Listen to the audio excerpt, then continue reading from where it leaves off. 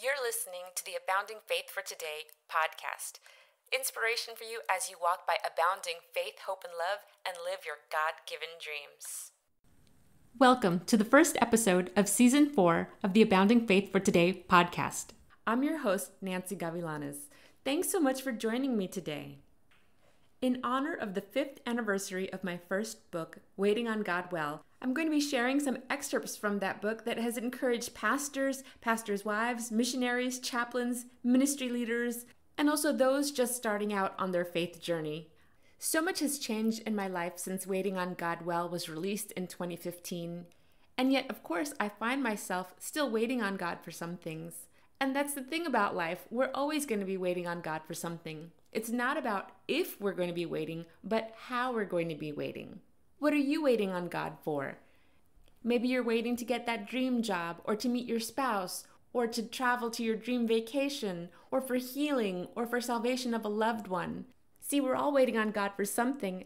And so, my hope is that I can encourage you to not give up in the middle of your story, to keep going, to keep waiting on God, and to keep seeking Him in prayer.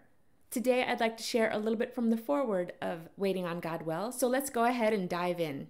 Waiting is not passive, it's not for the weak, but for the strong.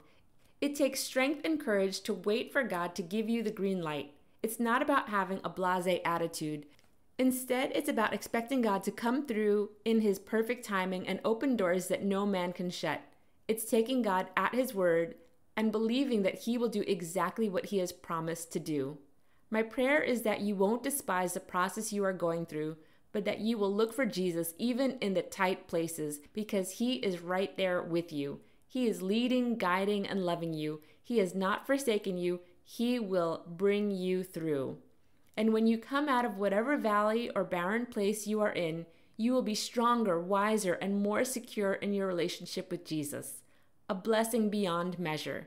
You will be able to look back and thank God for loving you enough to not take you the easy route, but the way that stretched you and tested you, brought healing to you, and helped you to grow and allowed you to see the miraculous hand of God in your life. I pray that you will come out a living, breathing testimony to the faithfulness of our God. Remember that God really does work everything together for the good of those who love him and are called according to his purpose. Romans 8:28. That means everything may not be good right now, but just watch how God will use your experiences to make something beautiful. What the enemy means for evil, God can turn for good. Genesis 50 20. In the end, drawing closer to Jesus is the best gift we could ever receive. It's better than whatever it is we are waiting for. I hope that encouraged you. I know waiting can be tough, especially in this microwave society that we live in. Waiting isn't popular. We want everything instantly, we want everything now, we want everything right away.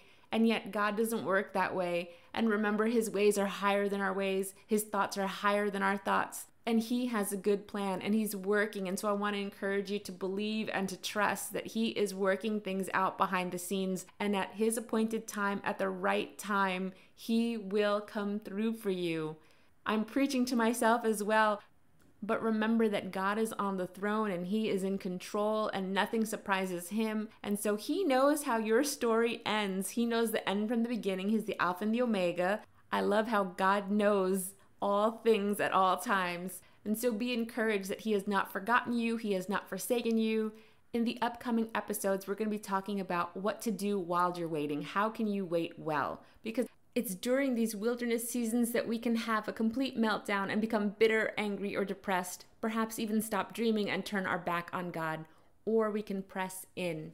I want to encourage you to press in, to lean on, and to trust in God. He is faithful and He will bring you through, and He's going to give you a new song. He's going to give you a testimony that you can share with others, and He's going to strengthen you. So, again, I'm getting ahead of myself. We're going to be talking about what God is doing while we're waiting and what we can be doing. Remember that waiting doesn't mean just sitting in a corner and not doing anything, there's a lot of constructive things that we can be doing while we're waiting and I look forward to sharing more on that in the next episodes. Until then, I really do want to pray for you. So allow me to pray for you. Father God, I thank you, Lord. I thank you that you are sovereign, you're almighty, you're all powerful, you're in control. You see us, you hear us, you are with us, you go before us, you live inside of us.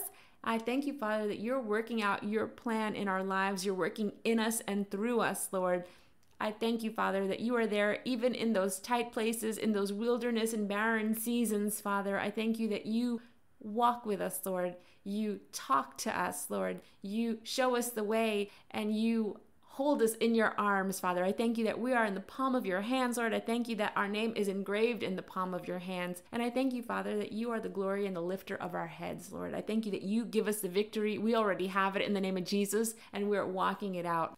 I thank you that we can trust you during any wilderness season, any time of waiting, Father. I thank you that you are drawing us closer to you, Father. And and so I thank you that you have already promised us the victory, and so we can already be thanking you and rejoicing in advance.